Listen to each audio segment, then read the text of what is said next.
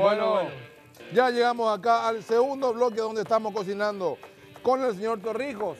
Un cerdo de ochi, acá un cerdo, eh, una costillita grill, rápidamente acá en, la, en esta planchita y yo acá picando para que el señor En juliana. Torrijos pueda hacer, sí señor, unas, una salsa barbacoa. Bueno, Adelante Torrijos. costillita grill que lleva 20 minutos aquí. Qué la bueno. volteamos. Es un sentimiento diferente estar al lado de dos monstruos que te están cocinando. ¿eh? Ah, No es lo mismo que te cocinen así de otra forma. ¿eh? Claro que sí. Ahora sí que echamos ¿Ya le diste la vuelta? Ahora mismo. 20 minutitos. Mira, ya se va viendo el hueso. Sal sin miedo.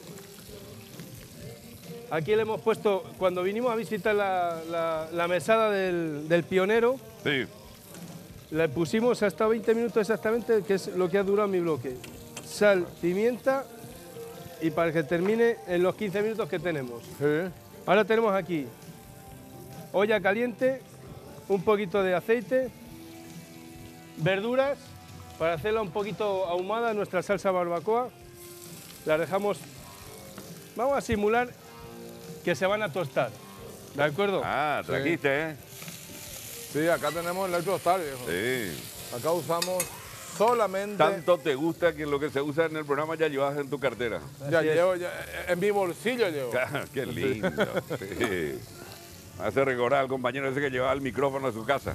Ah, sí. Sí. La, la- la vez pasada llevé yo el micrófono en mi moto y se me, quedó- se me quemó el cable. No. Estamos a 500 kilómetros de Asunción. Ni nada. Con un solo micrófono.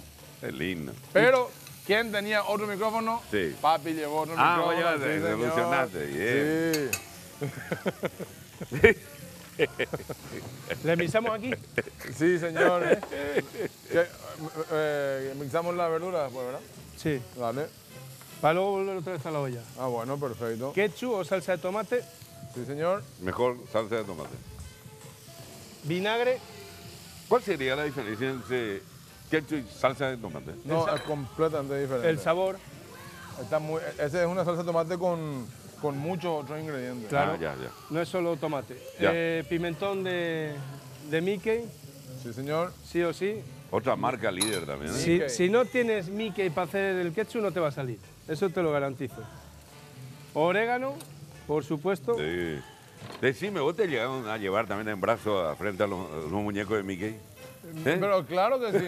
Sí. Pero y mil acerca a tu casa. Porque... Mil Sí, veces. Ahí se claro. queda a seis cuadras de casa. Sí, ¿cómo era, pues? claro. Sí.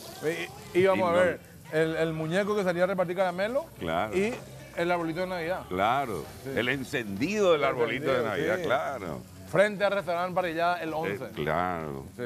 Ahí se comía el, el surubí Sí. en la cazuelita. Y la milanesa también. También la milanesa. Sí. Rotela el dueño, ¿eh? Sí. Me acuerdo. Sí. Bueno, ves que hemos dicho que le íbamos a tostar las verduritas para que tomasen ese, ese aroma ahumado, ¿no? Sí. Como no tenemos mucho tiempo y te queremos dar bien de comer. ¿Quién te ¿de dijo que no tenemos tiempo? Claro que tenemos. Y no, no, da, no Ah. da tiempo. Necesitamos casi 20 minutos para que se quemen bien las Entonces lo pones ¿sabes? directo. Lo ponemos directo y siempre hay una, una, un as debajo la manga, ¿no? Sí, señor. Sí. Y acá nos alejamos porque va a aplicarle el electrostar.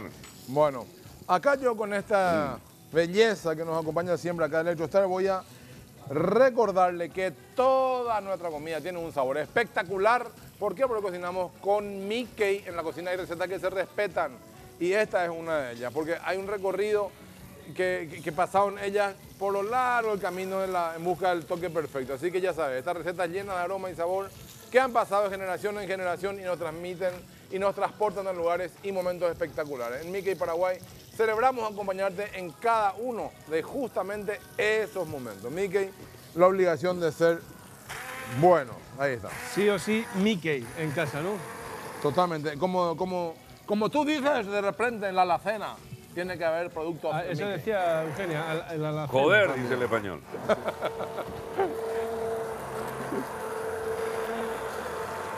O sea que me gusta como jamás se te descontroló. ¿A qué huele eso? Sí. ¿A qué huele? Eh, a olor de farmacia. No mates. ¿eh? Algo, algo. Eh,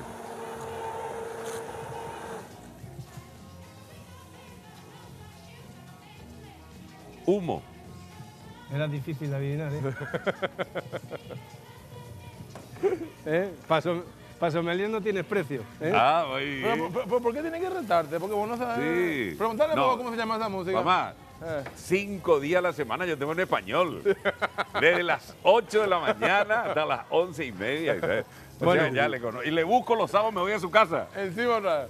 O sea que, entonces, ¿qué es lo que me voy a quejar, verdad? Si yo le busco otra vez al O sea que vos le padecés a Dani. Sí, claro.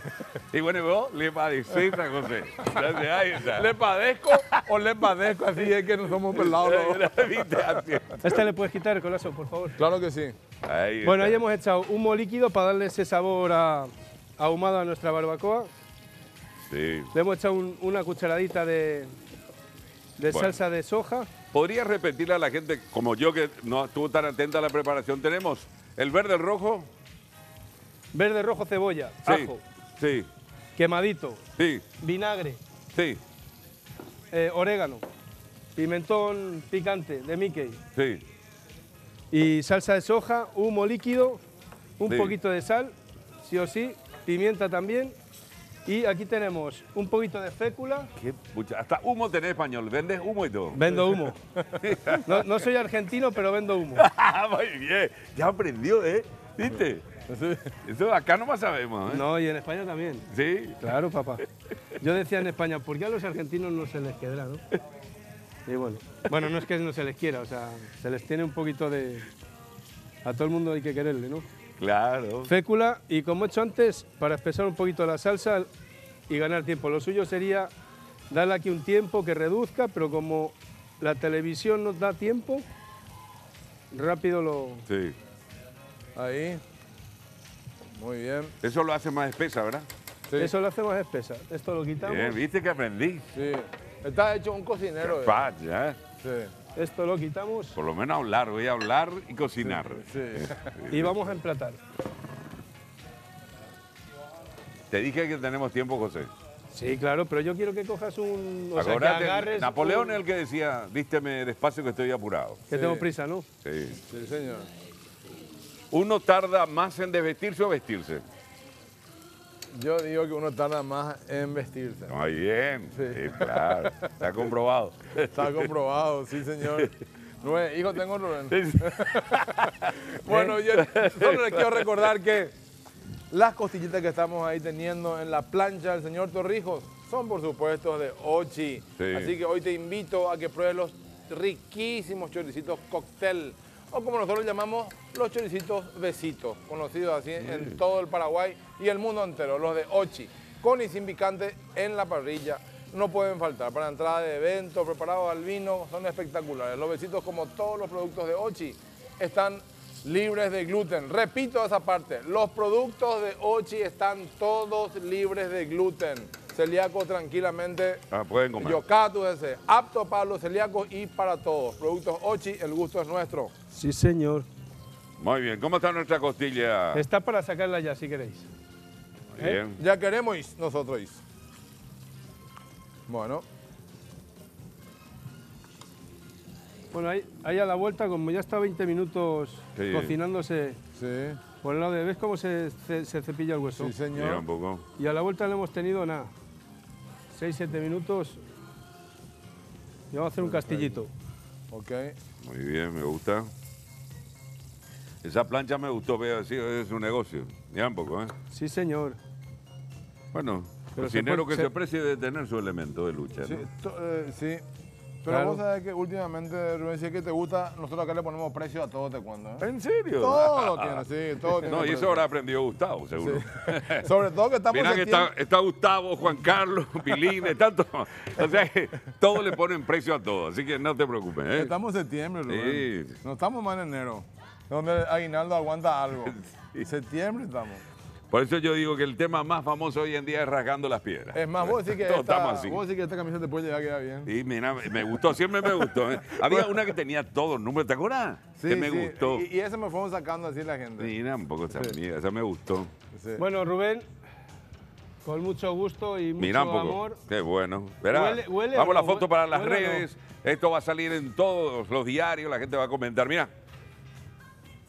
No, no sabe el olor a humo que tiene. Sí. Ahí está. Mira. ¿Viste, viste? Esto es lo que se llama, atender esto. ¡Qué bueno! Muy bien. Espectacular. Claro, querido, claro. Un gustazo de disfrutar esto, ¿eh? Bueno, José, ¿cómo hiciste un resumen?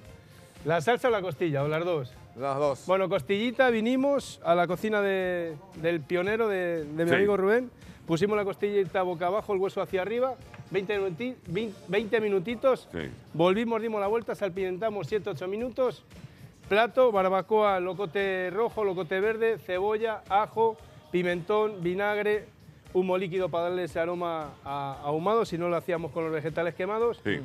un poquito de, de agua, salsa de soja, triturar y, ¿Y quién cortó la verdura? y colazo. Igual. Claro. Ay, bueno, Y hicimos apre- recién esta aprendí, la mayoría sí, corta de otra manera, vos cortás así, al raje. sí, Para quitar lo amargo. para quitarlo amargo. Ya, un poco, ¿eh? Está- Bueno, nos vamos al segundo bloque de pausa y venimos al tercero del programa en un ratito nada más para cocinar un sándwich de cupín con una salsa interesantita. Así que nos vemos enseguida.